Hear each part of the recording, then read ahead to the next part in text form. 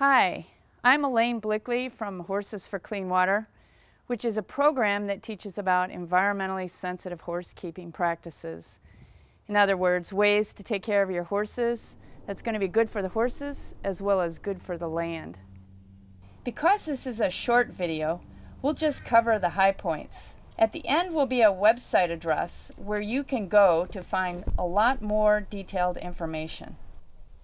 Today we're at a horse farm in beautiful Bridle Trails, Washington. One of the things that we start with is manure management.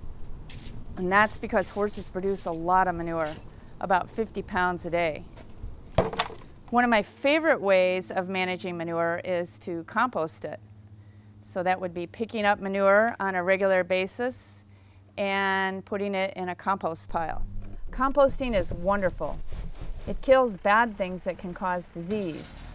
Plus, composting will shrink your manure pile in half, and it creates a valuable, rich soil amendment.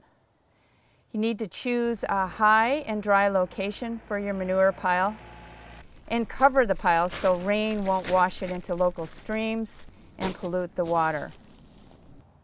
Bellevue has over 80 miles of streams, and protecting water quality is important. We don't want horse manure or pet waste of any kind washing into our waterways.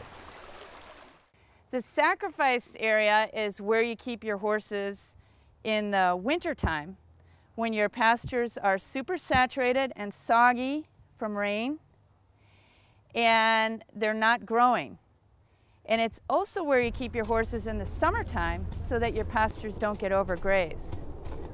We call it a sacrifice area because you're sacrificing it as grassy pasture for the sake of the rest of your pasture. And you recognize that grass isn't going to grow here and that you're going to have to do certain things to keep it from being muddy in the wintertime or dusty in the summertime. So this property has done a really nice job of managing mud and managing their paddocks. Most important thing is picking up manure on a regular basis. As we already said, horses produce about 50 pounds of manure a day. I recommend picking up manure at least every one to three days to help break that parasite reinfestation cycle. But the more frequently you can pick it up, the better it's going to be, the easier it's going to be for you, the less the manure gets ground into the footing. And then you're going to put that manure into your manure management program, which would either be composting it or hauling it off-site. The next thing you want to do in your sacrifice area is have some kind of footing. There's many choices and options for footing, but basically your footing keeps the horses from eroding the soil away, and it also helps with drainage. You want it to be a footing that's going to be beneficial for horses and safe for horses to stand on, and also one that's going to be easy for picking up manure. The next thing you want to do is have gutters and downspouts. This is going to be important for reducing the amount of mud in your sacrifice area and making it more chore efficient for you.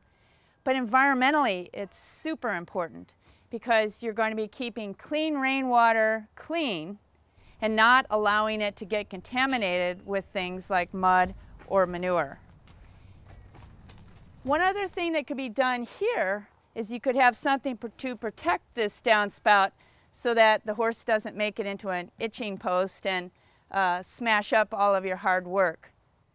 Manure management is an important part of horse health as well as being environmentally sensitive. We already mentioned that horses produce about 50 pounds of manure a day, but there's different ways that we can manage the manure so that it's going to be more chore efficient for us. First of all, we want to clean stalls on a daily basis, and I recommend sacrifice areas and paddocks picking up the manure at least every one to three days.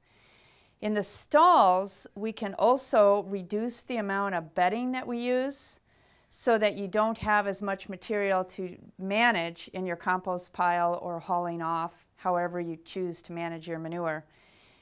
So if you're going to reduce the amount of bedding, you want to look at getting the most absorbent type of bedding that you can so that you don't have to use a lot of it. And also, you want to have stall mats, which they have here underneath.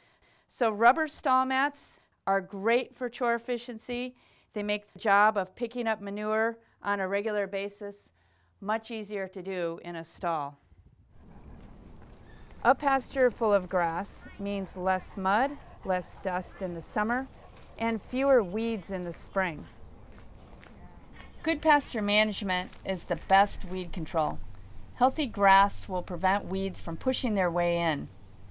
Whenever possible, especially near waterways, avoid weed killers. These can be harmful to horses and very toxic to fish. The golden rule for pasture management is to never graze below three inches. The bottom three inches of a grass plant belongs to the grass.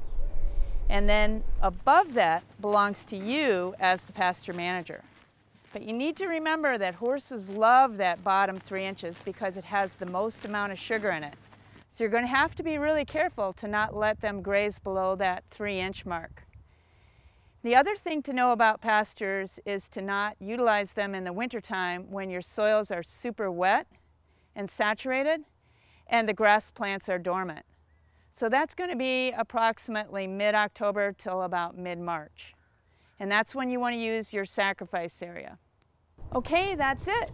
I hope these tips were helpful for you. And there's more information available for you on the Horses for Clean Water website. That's www.horsesforcleanwater.com.